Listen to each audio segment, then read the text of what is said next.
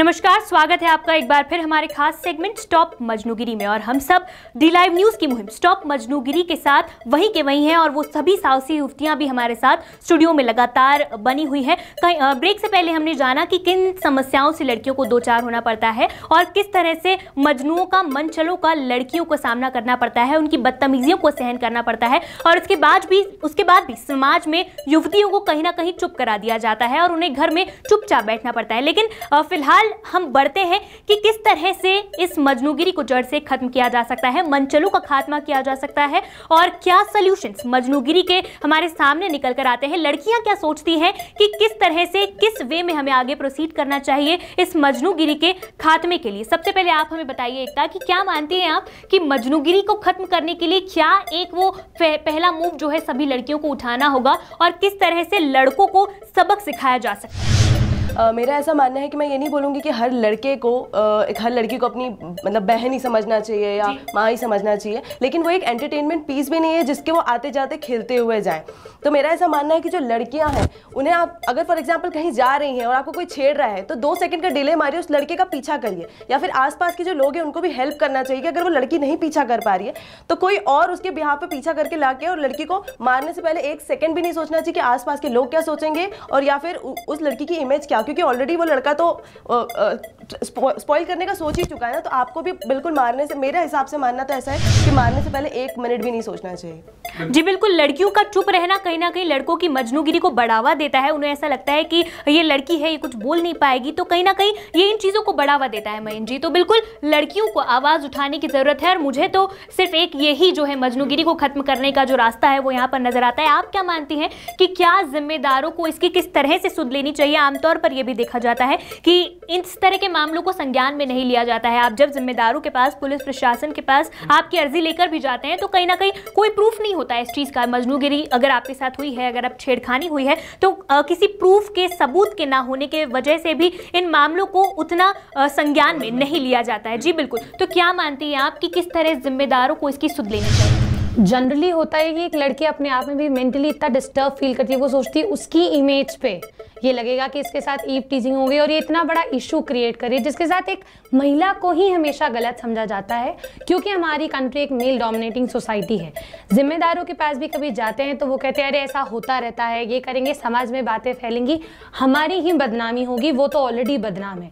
ये कहकर टाल दिया जाता है तो आई गेस ज़िम्मेदारी लोगों को, ये ज़िम्मेदारी लेनी चाहिए कि अगर उनके घर की बेटियों को या कहीं की भी बेटियों को, लड़कियों को अगर कोई छेड़ रहा है तो वो आगे रहकर बोलें, ये साहस घर वालों को देना चाहिए। साथ ही साथ ये सिर्फ़ रोड चलते या कहीं ऐसे नहीं होता, बल्कि सोशल नेटवर्किंग साइट्स पर भी बहुत होता है। और लड़कियों को भी समझना चाहिए कि क्या चीज़ उन्हें पोस्ट करनी है और क्या नहीं, क्योंकि लड़के बहुत फ़ायदा उठाते हैं मैसेजेस में सेक्सुअल अब्यूज़ करके भेजते हैं और क्या क्या नहीं भेजते, क्योंकि वो फेस टू फेस होते नहीं, बहुत सारी चीज़ों का फ़ायदा उठाते हैं ऑन सोशल नेटवर्किंग साइट्स तो उस चीज़ का भी ध्यान रखना चाहिए। आजकल छोटे छोटे बच्चे छोटी छोटी लड़कियाँ गलत डेट ऑफ़ बर्थ डाल के फेसबुक या ट्विटर सब पे आ जाती हैं, ताकि उन्हें वो दुनिया देखने को मिले, लेकिन वो ये समझती नहीं कि इस पर भी ईव टीजिंग का शिकार वो हो सकती हैं। तो पेरेंट्स को भी समझना चाहिए कि क्या उनके बच्चे के सही है और क्या गलत। बिल्कुल। एक सवाल और मेरे यहाँ पर जहन में आता है। आप सभी से पूछना चाहूँगा कि हमें संस्कार दिए जाते हैं, हमारे परिवार में हमें वो बातें सिखाई जाती हैं कि हम मर्यादाओं में रहें, संस्कृति को अपनाएँ, और हमारी हिंदुस्तान की संस्कृति ऐसी है जो जो कि अनेकता में एकता का भी रंग कहीं ना कहीं दिखाती है। तो नहीं लगता कि कहीं वो लैकनेस ऑफ़ कल्चर का जो एस्पेक्ट है, वो कम हुआ है? शायद इस वजह से आज की नौजवान पीढ़ी में ये समस्या बहुत ज़्यादा हद तक देखने को मिल रही है। आप लोगों का क्या एक्सपीरियंस है इस पर? जी मुझे लगता है कि हमेशा लड़कियों को ही समझाया जाता है। Mostly hmm. जो ट्रेडिशंस एंड कल्चर्स है वो उन्हीं को बताया जाता है कि उनको किस तरह से रहना चाहिए। हम्म। कोई ये उन्होंने लड़कों को नहीं बताता कि भाई तुम देखो मतलब हो सकता है ठीक है तुम्हारी बहन नहीं है हम्म। तुम्हारी माँ नहीं है लेकिन वो लड़की है आप उसको रिस्पेक्ट करो। हम यही तो हमारा इंडियन कल्चर है कि रिस्पेक्ट वुमेन बट ऐसा नहीं होता। तो मुझे लगता है एक अवेयरनेस की बहुत ज़्यादा ज़रूरत है। अगर कोई लड़की एक्शन नहीं ले रही है तो ठीक है जो सामने आप देख रहे हो सामने आसपास इतनी भीड़ है सब देखते हैं कि वो बंदा छिड़के गया यार आप क्यों एक्शन नहीं लेते लड़की के अगेंस्ट। मतलब ज़रूरी है कि वो आपके घर की हो। मतलब हम क्यों वेट कर रहे हैं कि जब तक हमारे घर की बच्ची के साथ ऐसा नहीं होता तब तक हम अपने मतलब और किसी के लिए एक्शन लेंगे ही नहीं। तो मुझे लगता है अभी अवेयरनेस होनी चाहिए। और जहाँ तक बात है लड़कियों की तो उनमें कॉन्फिडेंस तो बिल्कुल होना ही चाहिए कि अगर कोई आपको छेड़ के जा रहा है तो आप में इतना कॉन्फिडेंस हो कि आप उसको स्टेयर करके बोलो कि एक बार फिर करके बता दो। हम्म, बिल्कुल। संस्कार और संस्कृति के बारे में आप लोग क्या मानते हैं? कल्चर के बारे में। मेरा ऐसा मानना है कि लोग अपनी कंट्री को या अपने आप को विदेश जो कल्चर है जो वेस्टर्न कल्चर है, उससे बहुत ज़्यादा कनेक्ट करने की कोशिश करते हैं। बट मुझे ऐसा लगता है, लोग फिजिकली तो उस लेवल पे डेवलप हो रहे हैं बट मेंटल डेवलपमेंट नहीं हो रहा है वो। लोग मतलब तो मुझे ऐसा लगता है कि ना कल्चर कल्चरली भी इंसान को फिजिकली डेवलप के साथ साथ ना मेंटली अपने जो लेवल है, उसको भी काफ़ी डेवलप करना चाहिए।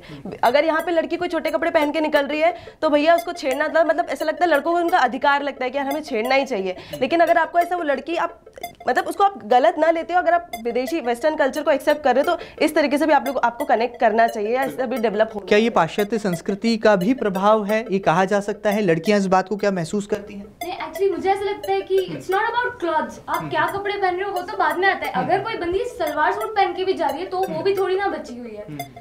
तो मुझे नहीं लगता कि क्लॉथ से इसका कोई रिलेशन है। लड़कों की तो मतलब बुरखा में भी अगर लड़कियाँ जाती तो उनके साथ भी ईव टीजिंग होती है। हम कहते हैं ना कि हम मंगल ग्रह तक पहुँच गए लेकिन हमारी सोच अभी भी वही है कि हम लड़कियों को उसी नज़र से देखते हैं कि भैया ये तो ईव टीजिंग ये तो हमारे छेड़खानी के लिए ही बनी है और एंटरटेनमेंट का सामान है तो वो बहुत बंद कर देना चाहिए। और लड़कियों में कॉन्फिडेंस होना चाहिए करेज होना चाहिए और जो मान मर्यादा की बातें होती हैं वो जनरली लड़कियों को ही सिखाया जाता है कि तुम कोई घर में आए तो उसके पैर छूने हैं इज़्ज़त से बात करनी। ये आगे सब लड़कों को सिखाना शुरू करना चाहिए कि मान मर्यादा में रहने की बारी अब आप लोगों की है लड़कियों की। आप क्या मानती हैं? आपने बहुत सारे एक्सपीरियंस शेयर किए और जो वाकई आपके साथ हुए जिस बेबाकी के साथ आपने उन घटनाओं को बताया आपको क्या लगता है कितना दोषी हमारा सिस्टम भी है?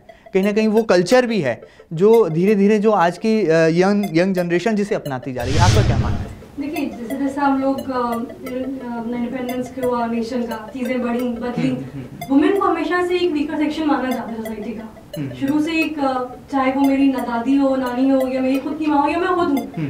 घर में हमेशा जाने जाने में पेरेंट्स ये बोलते हैं कि, ठीक है, तुम लेट नाइट मत आना, कि तुम जल्दी आ जाना। वो सारी चीज़ें एक लोग बैठे होंगे है दिमाग में और इसे बदलने को तैयार नहीं है। यहाँ पर हमें कहा जाता है कि तुम फेस कवर करके निकलो या देर रात तक बाहर नहीं रहना है या जीन्स नहीं पहनो या वो सारी चीज़ें करो। हम लोगों पे वो सारी पाबंदियाँ नहीं लगाते। क्यों लगता है कि वो बेटा है संभाल लेगा कुछ नहीं होगा जबकि ऐसा नहीं है।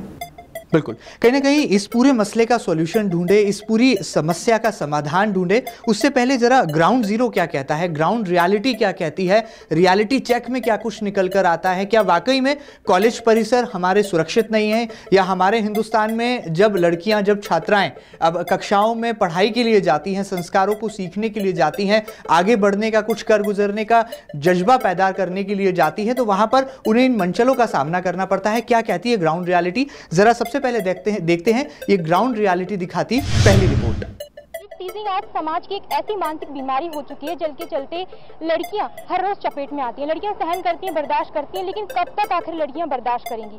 कभी ना कभी आवाज़ उठानी पड़ेगी, बोलना पड़ेगा। क्या लगता है आपको टीजिंग क्यों होती है? आखिर क्या इसके खास कारण है? सब कुछ हम जानेंगे, आज युवाओं से बात करेंगे टीजिंग को लेकर और जानेंगे क्यों होती है टीजिंग और कैसे रोकी जाएगी teasing Eve teasing is a complete disrespectful act, and Eve teasing is a complete disrespect to women's, which I don't think the society needs to continue. They need to sort it all out, and they need to understand what a woman is worth and where a woman stands in her own life. She has her own life, and she needs to reach somewhere. You cannot just bully her everywhere. अ, ऐसा होता है कि girls को तो बिल्कुल पसंद नहीं आता ये चीज़ अ, जब स्टार्ट हो मतलब बॉयज़ को लगता है जैसे कि वो बहुत अच्छा काम कर रहे हैं सब करके उन, उन, उनके लिए शौक रहता है ऐसा लेकिन गर्ल्स को बहुत मतलब बुरा लगता है। ये अच्छी बात नहीं रहती है कि आप गर्ल्स को रास्ते पर चल के कुछ भी कर रहे हो अजीब सी हरकतें कर रहे हो that is not good eve teasing होती है तो यही रहता है कि किसी भी पर्सन को आप अगर बुरा बोलते हो तो उसके दिल में दुख होता है उसको हर्ट होता है। तो ईव टीजिंग हो या कोई भी नॉर्मल पर्सन को आप हर्ट करते हो तो अच्छा नहीं लगता है और आजकल कुछ ज़्यादा ही ये बढ़ने लगा है। और इस वजह से प्रॉब्लम ये हो जाती है कि लड़कियों के जो पेरेंट्स हैं उनको घर से बाहर नहीं निकलने दिया जाता है आठ बजे के बाद या रात को क्योंकि ये सब चीज़ रात में बहुत ज़्यादा हो, हो जाती है। तो किसी भी पर्सन को हमको हर्ट नहीं करना चाहिए बस ये मेन है। अगर कोई लड़का किसी लड़की को छेड़ रहा है तो ये ज़ाहिर सी बात है कि इसके लिए उसके पास उतना एजुकेशन नहीं कि वो एक लड़की को छेड़ रहा है। एक्चुअल में अगर कोई किसी लड़की को छेड़ता है तो उसका मतलब लड़की को ये नहीं लगना चाहिए कि यार ओ मतलब उसने मुझे छेड़ दिया।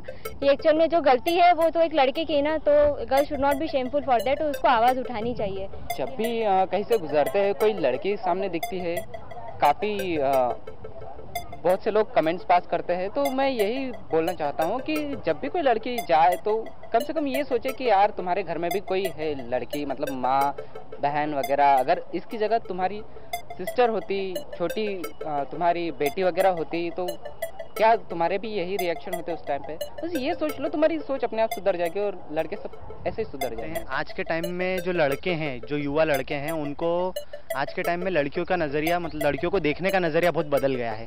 आज के समय में हम देखें तो कई छात्र लड़कियों को दूसरी नज़र से और गलत नज़र से देखने लग गए हैं। जिस कारण से आज के समय में घर से लड़की निकलती है तो माता पिता को चिंता हो जाती है कि क्या हमारी लड़की सुरक्षित आएगी? तो इस चीज़ पे लड़कों को भी आज की यूथ को सोचना होगा कि क्या करना है। अगर यूथ ये चीज़ नहीं सोचेगा तो फिर क्या होगा? ये देश किस तरफ़ जाएगा? हमारे अगर पुराना इतिहास उठाएँ तो औरत मतलब लड़की को देवी का रूप माना जाता है। लेकिन आज के समय में उसे देवी की नज़र से नहीं देखा जा रहा। तो अब हमें सोचना होगा कि हमारे संस्कार जा रहे हैं या हमें लड़कियों को किस नज़र से देखना है, इस पर हमें विचार करना होगा। तो दर्शकों देखा आपने किस तरीके से युवा जो है वो पूरे जोश में है, वो जागरूक हो चुके हैं। लड़के हैं या लड़कियाँ सभी चाहते हैं कि लड़कियों को सम्मान मिलना चाहिए, क्योंकि वो सम्मान डिजर्व करती हैं। तो अब टाइम हो चला है कि आवाज़ को हम बुलंद करें, अब हम स्टैंड लें, इसके लिए खड़े हों। जी हाँ अब चुप नहीं रहेंगे, हम सहेंगे नहीं, अब हमें कहना होगा आके स्टॉप ईव टीजिंग आपको अपनी आवाज़ देंगे हम डी लाइव न्यूज़ से। आप आगे आइए और बताइए किस तरह से ईव टीजिंग को रोका जाए। चलिए, यहाँ पर हमने ग्राउंड रियलिटी कुछ जानने की कोशिश की। साक्षी, आपका क्या अनुभव है? किस तरह से ईव टीजिंग की समस्या को खत्म किया जा सकता है या इसे मिनिमाइज किया जा सकता है? क्या सॉल्यूशन सिस्टम की तरफ़ से भी आने चाहिए? और वो कानून, जो कि महिला सुरक्षा अधिनियम के तहत तैयार किया गया है, उस कानून में भी संशोधन की ज़रूरत महसूस होने लगी है? जी, बिल्कुल मयन जी। जैसे कि अगर देखा जाए, जैसा कि अभी बात भी की थी, की गई थी कि लड़कियों को हमेशा सोसाइटी का वीकर सेक्शन माना जाता है। अगर हम देखें तो एटी परसेंट ऑफ़ गर्ल्स अगर हम देखें तो कहीं ना कहीं वो सहमी हुई होती हैं, नरम दिल होती हैं, आवाज़ नहीं उठा पाती हैं। लेकिन हम देखें कि ट्वेंटी परसेंट ऑफ़ गर्ल्स जो होती हैं, वो बेबाक होती हैं और अपनी बातों को उन मंचलों के सामने रख पाती हैं। लेकिन वो जो एटी परसेंट गर्ल्स हैं, वो ही कहीं ना कहीं ज़्यादा मंचलों का शिकार बनती हैं और लड़कियाँ कहीं ना कहीं अपने घर की इज़्ज़त का आईना होती हैं। इस वजह से भी कहीं ना कहीं वो सहम जाती हैं और अपने घर की इज़्ज़त के लिए वो सब कुछ मेंटली जो है इसका सहन करती रहती हैं। तो कहीं ना कहीं लड़क मतलब घर वालों को अपनी लड़कियों पर विश्वास जताना होगा और एक ऐसी आबो हवा में, एक ऐसे एनवायरमेंट में लड़कियों को रखना होगा कि लड़कियाँ जो है, हर तरह की बात अपने माता पिता से साझा कर सके। दिनचर्या में दिन भर लड़की के साथ क्या हुआ, क्या नहीं हुआ, वो सब जाकर वो अपनी माँ माँ के साथ, अपने पापा के साथ शेयर कर सके ताकि अगर कुछ भी गलत उनके साथ हो रहा है, होने वाला है तो उसे पहले ही रोका जा सके। कहीं ना कहीं मनोवैज्ञानिक असर भी जो है एक युवती के जीवन में उसकी ज़िंदगी पर पड़ता है। जब वो अगर किसी छेड़छाड़ की घटना से उस रूबरू होती है, वो कहीं कहीं ना कहीं मंचलों का शिकार होती है या उसे उस सार्वजनिक जगह पर कहीं ना कहीं शर्म के मारे उसका सिर झुक जाता है, जब वो अपने साथ कुछ इस तरह का वाकया होते हुए देखती है और असहज खुद को महसूस करती है एक युवती। हमारे साथ लगातार पीयूष भी बने हुए हैं। पीयूष, आपके साथ जो साहसी युवतियाँ हैं, वो क्या कहना चाहेंगी? उनकी नज़र में आखिर समाधान है क्या? और ईव टीजिंग की समस्या के पीछे संस्कार और संस्कृति का कितना असर है? क्या पाश्चात्य संस्कृति भी इसके लिए दोषी वो मानती है? उनका क्या कहना है इसके लिए बिल्कुल महेंद्र जी, जिस तरह से एक बड़ा मामला है कि अक्सर जो है वो जब पब्लिक प्लेसेस पे जब लड़कियाँ निकलती हैं उनके साथ इस तरह की जो है वो चीज़ें घटित होती हैं। हम लोग सीधे लगातार चर्चा कर रहे हैं और जिस तरह से युवतियों ने हौसला बुलंद करने की बात की है, एकजुटता दिखाने की बात की है और इन तमाम चीज़ों से निपटने के लिए अब कहीं ना कहीं उन्हें ही कदम बढ़ाना होगा, ऐसा इनका कहना है। एक बार फिर से हम लोग बात करते हैं मोहिनी से। मोहिनी, क्या लगता है आपको इन चीज़ों को अब पूरी तरह से खत्म करने के लिए किस तरह कदम उठाए जाने चाहिए? और खासकर क्या वाकई में जो वेस्टर्न कल्चर है, वो कहीं ना कहीं इन चीज़ों को आगे बढ़ावा दे रहा है, क्या मानती हैं आप? देखिए, सबसे पहले तो हमें इस चीज़ का पता करना ज़रूरी है कि ये जो ईव टीजिंग मजनूगिरी टाइप की चीज़ें होती है, इसका रीज़न क्या है? मैं मोस्ट ऑफ़ द कॉन्सेप्ट में अगर आप देखेंगे रिसर्च करेंगे तो आप यही पाएँगे कि मजनूगिरी को उस एज ए एंटरटेनमेंट पर्पस के लिए अंजाम दिया जाता है। तो मैं सिर्फ़ इस इंडियन बॉयज़ या कोई भी बॉय जो इस- इन चीज़ों को अंजाम देता I just want to ask you one question can't you guys think out of box क्या तुम्हारी सोच को तुम इतनी बड़ी नहीं कर सकते? For example if you really want to have some entertainment आप कुछ ऐसा क्रिएटिव करो जिसमें आपकी भलाई हो और सामने वाले की भलाई हो। और एटलीस्ट अगर आप इतना ऊँचा सोच ही नहीं सकते तो एटलीस्ट आप अपने सेल्फ अपनी हैप्पीनेस के लिए करो but it should not be purpose like कि सामने वाला उससे हर्ट हो रहा है, ये कर रहा है। इससे आपकी बिलो डिग्निटी आपका चीप लेवल इससे सामने आता है। हाँ So I just want to tell you guys that please be don't mess with us. हाँ तो ये सीधे तौर पर लड़कियों का कहना है कि ये मनोरंजन का जो साधन है एंटरटेनमेंट के लिए कहीं ना कहीं लड़के इस तरह की जो है वो चीज़ों का अंजाम देते हैं। हमारे साथ सलोनी है। सलोनी आपसे पूछना चाहेंगे क्या वाकई में वेस्टर्न जो कल्चर है वो कहीं ना कहीं इन चीज़ों को बढ़ावा देता है? और जिस तरह से मजनूगिरी अब लगातार हावी होती जा रही है बड़े शहरों में एक जो है एक कहें कि एक जो है पैर जो है अपनी पसारती आ रही है उसको लेकर क्या कहना चाहेंगे? और क्या वाकई में वेस्टर्न कल्चर कहीं ना कहीं चीज़ों को आगे बढ़ावा दे रहा वेस्टर्न कल्चर, क्या गाँव की लड़कियों को किसी ने छेड़ा नहीं कभी? गाँव की लड़कियाँ सूट ही पहनती हैं, जो कि हमारा इंडियन कल्चर है। हमारा भारतीय पहनावा है, सूट, साड़ी, क्या वहाँ की लड़कियों को कभी किसी ने नहीं छेड़ा? ज़्यादातर केस वहीं के होते हैं। तो कहाँ से वेस्टर्न कल्चर? वेस्टर्न कल्चर तो फिर लड़के भी जीन्स पहनते हैं क्यों? वो कुर्ते पजामे में निकले हम तो उनको जीन्स पहने हुए देखे नहीं छेड़ते। हमारे मन में तो कभी कुछ नहीं आता उनके मन में आता है क्योंकि उनकी सोच खराब है। तो सब कुछ मिलाकर आखिरी में यही पता चलता है कि हमारा एजुकेशन सिस्टम माँ बाप की परवरिश और हमारे लोगों की सोच। बस यही है कारण और इसको यदि बदल जा, बदला जा सके तो कुछ हो सकता है, वरना तो अब देख ही रहे हो। हाँ तो वाकई में जिस तरह से लड़कियों का कहना है कि कहीं ना कहीं वेस्टर्न कल्चर तो अपनी जगह सही है, लेकिन जब तक सोच नहीं बदलेगी, जब तक इस चीज़ें इस तरह की चीज़ें जो है, उन पर कहीं ना कहीं लगाम नहीं लगेगी। तो कहीं ना कहीं जो बात पूरी तरह से निकल कर आ रही है युवतियों की जो आवाज़ है और उनका जो यही कहना है इस पूरे मामले में कि अब कहीं ना कहीं जो है वो उनको लड़कों को अपनी सोच बदलनी होगी। नहीं तो अब वो दिन दूर नहीं है जब उनको इन चीज़ों के लिए जो है वो लड़की, अब कहीं ना कहीं लड़कियाँ मुँह तोड़ जवाब देने के लिए तैयार है। जी महेंद्र जी। बिल्कुल। वाकई में यहाँ पर ये मानसिकता का प्रश्न चिन्ह है। यह कहा जाए, सीधे तौर पर सोच का पैमाना कुछ ऐसा हो चला है, जो कि ईव टीजिंग की समस्या को लगातार बढ़ाता जा रहा है।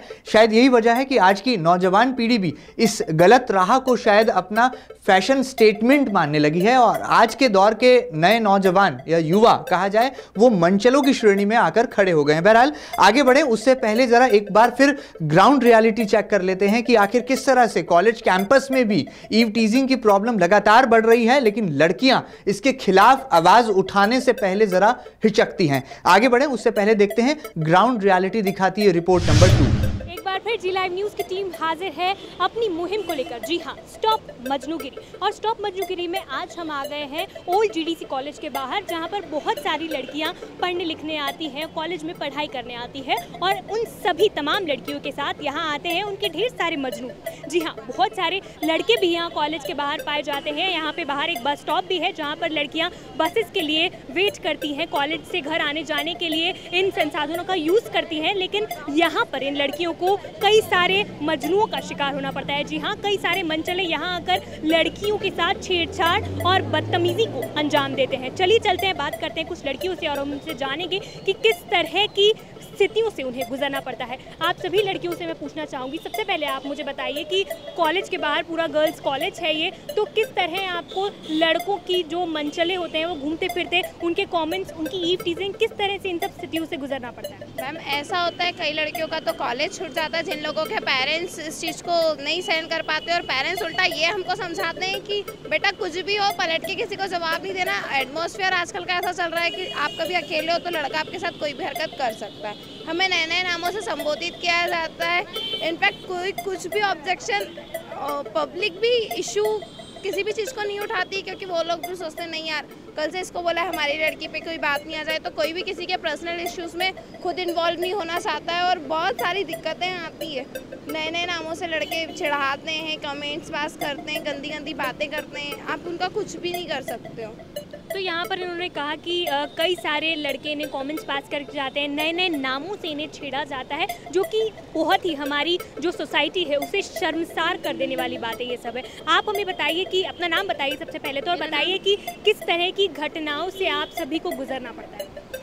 मेरा नाम कंचन ओचाने है और मैं जीडीसी कॉलेज में पढ़ती हूँ फाइनल ईयर की छात्रा हूँ। हम अभी थोड़े दिन पहले कलेक्टर ऑफ़िस जो कि एक सरकारी दफ्तर है, हम वहाँ पर गए थे, लेकिन वहाँ के सफ़ाई कर्मचारी हमें बार बार देखकर कमेंट पास कर रहे थे। लेकिन दो बार हमने सोचा कि चलो जाने दीजिए, ये लोग जो भी बोले हमें ध्यान नहीं देना है। लेकिन फिर उन्होंने इतनी ज़ोर से कुछ बोला, हम लोग वापस मुड़ के उनके पास गए, फिर उन्हें उस चीज़ के लिए चिल्लाया, जिसके लिए जो वहाँ के टीआई साहब है, वो भी आकर वहाँ पर इकट्ठे हुए और लड़कों को डांटा, लड़कों ने हमारे हाथ छोड़ के माफ़ी मांगी। और साथ ही जो बिजलपुर स्कूल है, एक बहुत बड़ा स्कूल है, कहने के लिए एक सरकारी स्कूल है। लेकिन वहाँ का जो रास्ता है, वहाँ पे बिल्कुल भी बच्चों के लिए सेफ्टी नहीं है। छोटी छोटी लड़कियाँ जो निकलती हैं वहाँ से, वहाँ के जो रहवासी बिजलपुर के हैं, वो बच्चों को परेशान करते हैं, लड़कियों को साइकिल से धक्का देते हैं, उनके कपड़े फाड़ते हैं। इस तरीके की हरकतें मैम वहाँ पे होती है। और दूसरा कॉलेज के बाहर भी हम लोग खड़े रहते हैं, लड़के कमेंट पास करते हुए निकलते हैं। अगर कोई हिम्मत वाली लड़की रहती है तो उन्हें रोक कर वापस उन्हें कहती है कि आपने ऐसा क्यों बोला? तो लड़के कन्नी काट के निकलते हैं कि तुमको क्या लेना देना हमें आपको बोला ही नहीं है। इस तरीके की हरकतें हमारे साथ होती है। तो जिस तरह इन्होंने बताया कि सचमुच हमारी संस्कृति को तार तार कर देने वाली घटनाएँ यहाँ पर लड़कियों के साथ होती हैं और शहर की सबसे हाईटेक प्रशासनिक संकुल में भी लड़कियाँ सुरक्षित नहीं है, वो अपने आवेदन लेने और देने वहाँ पर नहीं पहुँच सकती क्योंकि वहाँ पर भी उन्हें, वहाँ के कर्मचारियों द्वारा फप्तियाँ कसी जाती हैं। चलिए अब हम आपसे बात करते हैं। सबसे पहले आपका नाम बताइएगा और बताइएगा कि किस तरह से इस तरह की घटनाएँ जो है, हमारी सोसाइटी को शर्मसार करती है और क्या कभी आपके साथ ऐसी कोई घटना घटी है? मेरा नाम सिद्रा अहमद है और मैं इधर मोती तबेला में ही रहती हूँ। प्रॉब्लम ये है कि एक तो मैं मोमेडियन हूँ और अपने घर से अकेले आना जाना करना। इस बीच में कई बार क्या होता है कि लोग कमेंट्स करके निकल जाते हैं, कभी कुछ कहते हैं। पर पलट के अगर उनको बोलो तो घर वाले ये कहते हैं कि आपको उनको कुछ कहने की ज़रूरत नहीं, बेटा आप नहीं बोल सकते हो। और अगर हमने कह दिया तो लोग ये कह के बदनाम करते हैं कि लड़की ख़राब है, जब इसके साथ ऐसा होता है। तो इस तरीके से हमारी जो सोसाइटी वो पूरी बदनाम हो रही है। लड़कियों को लेके कई बार क्या होता है कि लड़के कुछ भी कह के चले जा रहे हैं। अगर लड़कियाँ पलट के कुछ नहीं कहती तो ऐसा समझते हैं कि हाँ ठीक है, ये लोग भी ऐसी हैं, चलने दो। कोई कुछ कहता नहीं है। ट्रैफ़िक पे भी अगर कोई चल रहा है, फिर रहा है तो वहाँ पे भी यही नाटक होता है। मैं मेरे घर के साइड से जा रही थी तो दो बार एक लड़के ने मुझे कमेंट करी। तीसरी बार में मैंने उसके घर पर जाके शिकायत करी। तो वो उल्टा मेरे घर पर लड़ने के लिए आ गया और कहने लगा कि मैंने तो ऐसा कुछ करा ही नहीं। लेकिन उसमें मेरे फादर ने मेरा बहुत सपोर्ट किया और उस लड़के को अच्छा सबक सिखाया। तब से अब मुझे थोड़ा सा लगता है कि हाँ हम इतनी हिम्मत है, हम लड़कियाँ हैं तो हम कर सकते हैं। इसका मतलब ये थोड़ी ना कि कोई भी हमें कुछ भी करे। तो जैसे इनके फादर ने इन्हें सपोर्ट किया, क्या आपको ऐसा लगता है कि बाकी फैमिलीज़ भी अपनी लड़कियों को उतना ही सपोर्ट करती हैं ऐसे मामलों में, या फिर लड़कियों को ही चुप कर कर घर में बैठा दिया जाता है? लड़कियों को मोस्टली चुप करके इसलिए बिठा दिया जाता है क्योंकि उनकी इज़्ज़त, उनकी फैमिली की इज़्ज़त उनसे बिलोंग करती है। क्योंकि हमेशा लड़कियों को ही चुप रहने के लिए बोलते हैं। कई कई पेरेंट्स ऐसे होते हैं जो अपने लड़कियों को सपोर्ट करते हैं, उन्हें इनक्रेज करते हैं कि आप इस छेड़छाड़ का विरोध करें। लेकिन कुछ पेरेंट्स ऐसे नहीं होते, उनकी कॉलेज छुड़वा दिए जाते हैं, उनको बाहर निकलना आना जाना बंद करवा दिया जाता है।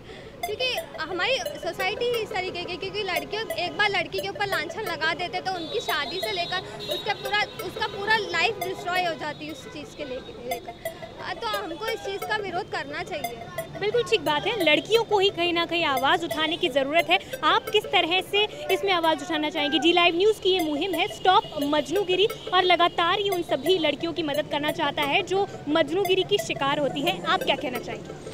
यही कि क्या बोलते हैं जो क्या बोलते जी किस तरह की कोई घटना आपके साथ होती है लड़कों द्वारा? हाँ कॉलेज आते समय लड़के छेड़छाड़ करते देख के एक साइकिल से आते छोटे छोटे बच्चे भी आजकल तो छोटे छोटे लड़कों की भी इतनी हिम्मत हो गई कि वो सामने आके कट मार के चले जाते अपन कुछ बोलो तो हाय हेलो करके वापस पीछे चले जाते कुछ मतलब रिस्पॉन्स ही नहीं। और अगर अपन कुछ बोलना चाहो तो आसपास के भी लोग बस खड़े खड़े देखने आजकल तो क्या बोलते हैं रोड पे भी मतलब कि अपने तो सब ऐसा हो गया है कि क्या बोलते हैं आजकल की मेरा मतलब कि लड़कियाँ कहीं भी सुरक्षित नहीं हैं इनका कहना यही है। आप हमें बताइए कि बस स्टॉप पर दिन भर आपका आना जाना रहता है, यहाँ पर आप खड़ी रहती है तो किस तरह मंचलों की जितनी भी गंदी हरकतों का आपको सामना करना पड़ता है? बहुत से बार हमारे साथ ऐसी हरकत हो चुकी है। हमने प्रॉपर उसको जवाब भी दिया है बट अभी भी वो चीज़ें बंद नहीं हुई हैं। इस एरिया में कलेक्टर एरिया यहाँ मालो कन्या स्कूल है जी स्कूल है, दोनों सरकारी है। बट आज भी एक लड़की जो किसी भी तरीके की हो, वो स्वतंत्र रूप से नहीं आ सकती है। कभी भी उनको लड़कों का कुछ भी मतलब बहुत कमेंट पास होती है। सरकारी एरिया पर फिर भी यहाँ पे कोई रिस्पॉन्सिबिलिटी नहीं होती है। इसमें एक लड़की है और जो लड़की कदम उठाती है, आवाज़ उठाती है तो लोग उन उस पर उंगली उठाते हैं कि इसकी कोई गलती होगी। और जो सीधी लड़की होती है उस पर तो कोई बात ही नहीं बनती है, मैम।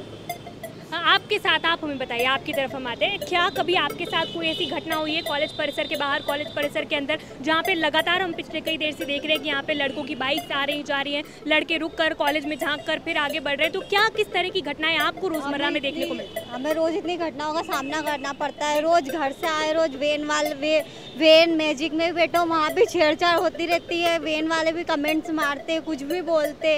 फिर यहाँ से निकलो तो भी लड़कों निकलते कुछ भी बोलते हुए चले जाते कुछ भी कमेंट्स पास करते हैं, हमको रोज यहाँ से कुछ ना कुछ का सामना करना ही पड़ता है।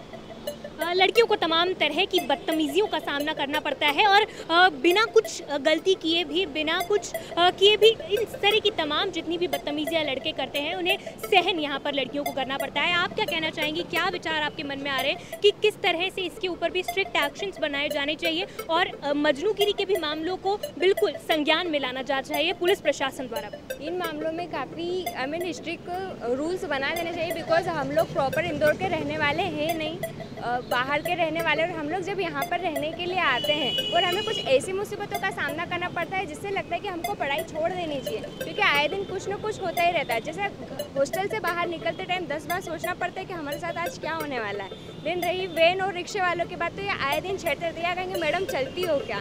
बाकी ऐसा कुछ होता नहीं है। हम लोग हमारे काम से रहते हैं। कुछ भी कमेंट्स करके निकल जाते हैं, क्योंकि ये बहुत गलत है। इससे क्या हम लोग की मानसिक स्थिति पर काफ़ी प्रभाव पड़ता है। इससे घर वालों को कहते हैं तो घर वाले उल्टे हमें ही डांटना पसंद करेंगे कि नहीं, तुम्हारी कोई गलती होगी। वैसे ऐसा नहीं करना चाहिए काफ़ी स्ट्रिक्ट रूल्स बना लेना चाहिए इस बार बस स्टॉप पर भी खड़े रहते तो कोई भी लड़का बाइक रोक कुछ भी कमेंट करके निकल जाता। कहीं ना कहीं ज़रूरत है माँ बाप को भी अपनी लड़कियों पर विश्वास करने की और पुलिस प्रशासन को भी इन तमाम मामलों पर संज्ञान लाने की। आप हमें कुछ बताइए कि किस तरह आप अपनी आवाज़ पुलिस प्रशासन तक पहुँचाना चाहती है? क्या कोई ऐसी घटना है और जो आपकी सहेली के साथ हुई हो या फिर आपके साथ हुई हो, जो आपने बस स्टैंड पर कॉलेज परिसर में दिन भर कहीं देखी मैम, जो ये स्टॉप है स्टॉप पर यदि सुबह के टाइम सात, साढ़े सात बजे का हमारा कॉलेज का टाइम है, यदि कोई लड़की यहाँ पे आकर बैठती है, कोई रिक्शा वाला आता है गंदी गंदी हरकतें करता है, छेड़खानी करता है, और अगर लड़की ना बोले तो कुछ मतलब करते ही रहता है उस तरीके की हरकतें, और दो तीन लड़कियाँ इकट्ठी होती तो वो वहाँ से भाग जाता है। और रही लड़कों की बात तो छोड़ो, यहाँ तक कि जो अधेड़ उम्र के व्यक्ति भी होते हैं, वो भी लड़कियों को आँख मारते हुए निकलते हैं, या फिर कुछ बोलते हुए, या फिर कट मारते हुए निकलते हैं, और यदि कपड़े किसी तरह के पहन रखे हो तो बोलते चलती हो क्या? बैठ जाओ गाड़ी पर। इस तरीके की हरकतें यहाँ पर होती है।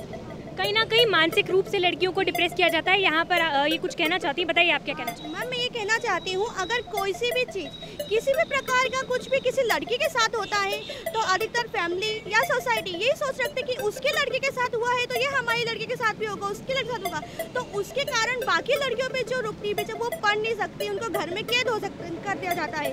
अधिकतर लोग तो शादी कर देते डर के मारे। वो ना तो पढ़ पाती है, ना कुछ, उनके जो सपने, जो ड्रीम्स है, वो तो कुछ कर ही नहीं पाती है, जो कि ये तो गलत है मैम एक के साथ हुआ है।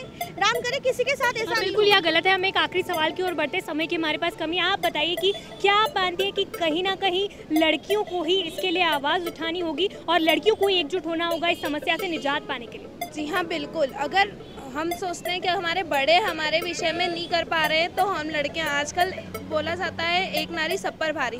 तो हमें उस परिभाषा को सत्य करना ही होगा। अगर हम नहीं आवाज़ उठाएँगे ना तो हम तो ठीक है हमारी जनरेशन फिर भी ठीक है। हमारे आने वाली जनरेशन को इससे बहुत ज़्यादा हानि होगी। और जब तक हम नहीं उठाएँगे, जब तक हम लड़कों को ये साबित नहीं करेंगे कि हम सबसे आगे हैं और किसी से कमज़ोर नहीं है तो वो हमको परेशान इसी तरह करते रहेंगे। तो ये थी हमारे साथ कुछ साहसी नारियाँ, जिन्होंने मजनूगिरी के खिलाफ और उन तमाम मंचलों के खिलाफ अपनी आवाज़ उठाई और आवाज़ बुलंद की और पुलिस प्रशासन तक भी अपनी आवाज़ पहुँचाने की कोशिश की। डी लाइव न्यूज़ की इस मुहिम ने इन लड़कियों से जाना कि क्या कुछ घटनाएँ लड़कियों के साथ होती है और एक बार फिर हम लड़कियों की ओर चलते हैं और एक साथ अपनी आवाज़ में, एक साथ आप लड़कियाँ क्या कहना चाहेंगी? क्या आप सभी मजनूगिरी के खिलाफ फाइट करेंगी? एक साथ बोलिए। मजनूगिरी बंद करो। मजनूगिरी बंद करो। तो यहाँ पर ये सभी साहसी और हौसले बुलंद थे इन सभी लड़कियों के लिए जिन्होंने वो तमाम घटनाओं का ज़िक्र हमारे साथ किया, जो इनके साथ इनकी रोज़मर्रा की ज़िंदगी में घटित होती हैं और कहीं ना कहीं सभी लड़कियों को मानसिक रूप से भी डिप्रेस कर देती हैं और सोसाइटी में इनका घूमना फिरना और खुली आबो हवा में घूमना फिरना सब कुछ प्रतिबंधित कर दिया गया तो ये थी वो तमाम ग्राउंड रिपोर्ट्स जो डी लाइव न्यूज़ की टीम ने ग्राउंड पर उतर कर की और वहाँ मौजूद कॉलेज परिसर में मौजूद उन तमाम लड़कियों से भी जाना कि किस तरह की समस्याओं से उन्हें दो चार होना पड़ता है और क्या मानती हैं वो कि किस तरह से इसका समाधान होना चाहिए। कहीं ना कहीं वो जो 80 परसेंट लड़कियाँ हैं, उनमें भी डी लाइव न्यूज़ की इस मुहिम से कहीं ना कहीं एक उम्मीद की लहर जागी है और वो भी इस मुहिम से जुड़ने के लिए आतुर हैं और वो भी तमाम मंचलों के खिलाफ आवाज़ उठाना चाहती हैं और वो भी ये कहना चाहती हैं कि मंचलों अब तुम्हारी खैर नहीं अब लड़कियों में वो साहस है और कहने के लिए वो आवाज़ है वो आवाज़ अब बुलंद हो चुकी है और सभी मंचलों को सबक अब सीखना पड़ेगा। और सभी युवतियों से भी मैं एक बार कहूँगी कि किस तरह आप अपनी आवाज़ सभी दर्शकों तक पहुंचाना चाहती हैं और क्या कहना चाहती हैं कि अब लड़कियों के हौसले बुलंद हो गए हैं क्या एक संदेश देना चाहती हैं आप सभी? हम सब एक ही चीज़ बोलना चाहेंगे। क्या बोलना चाहेंगे आप सब एक ही आवाज़ में? जी हाँ बिल्कुल स्टॉप मजनूगिरी, ये वो खास मैसेज है जो कि डी लाइव न्यूज़ लगातार अपने दर्शकों तक भी पहुँचा रहा है और उन मंचलों तक भी पहुँचा रहा है जो लगातार इस तरह की घटनाओं को न केवल अंजाम देते हैं, बल्कि फप्तिया कसना, लड़कियों के साथ छेड़छाड़ करना, शान का विषय समझते हैं। अब इसे विडंबना समझना होगा और हमारे हिंदुस्तान देश में फिर दोबारा किसी दामिनी के लिए, दिसंबर क्रांति के लिए आवाम को सड़कों पर ना आना पड़े, ऐसी नौबत फिर ना आए, इसके लिए जागरूक होना होगा, आवाज़ उठाना पड़ेगी। साक्षी, मैं कुछ कहूँ इससे पहले सीधे दर्शकों को आपको खास संदेश बता दें कि डी लाइव न्यूज़ लगातार किस तरह से स्टॉप मजनूगिरी इस मुहिम के ज़रिए जागरूकता का अलग जलाने वाला है। बिल्कुल, ये बहुत ये जो मुहिम है डी लाइव न्यूज़ की, इसे बहुत बड़े पैमाने पे प्लान किया गया है और सभी लड़कियों को कहीं ना कहीं एक न्याय मिले, यही डी लाइव न्यूज़ की मंशा है। और तमाम और लगातार डी लाइव न्यूज़ की इस मुहिम में लड़कियों, लड़कियाँ जुड़ रही हैं, लड़कियों की संख्या में इजाफा हो रहा है और वो सभी लड़कियाँ अब अपनी आवाज़ उठाना चाहती हैं और अपने सभी वो, जो किस्से उनके साथ हुए हैं, वो सभी दर्शकों तक पहुँचाने में भी कोई हिचकिचाहट उन्हों में नहीं है। और वो हर हर हफ़्ते हमारे स्टूडियो में लड़कियाँ हमारे साथ जुड़ती हैं और वो सभी, उन सभी लड़कियों को भी यहाँ पर वो कहती है कि आप भी डी लाइव न्यूज़ की मुहिम से जुड़ सकती हैं और तमाम जो आपके दिल में है, वो यहाँ पर आकर अपनी आवाज़ दर्शकों तक, उन मंचलों तक पहुँचा सकती है और आकर अपने समाधान भी यहाँ पर पुलिस प्रशासन तक, जिम्मेदारों तक भी पहुँचा सकती है। बिल्कुल, इस शो को कंक्लूड करने का मुझे नहीं लगता कि इससे अच्छा कोई तरीका होगा कि आप जैसी तमाम साहसी युवतियों के साथ हम सब जब मिलकर कहेंगे स्टॉप मजनूगिरी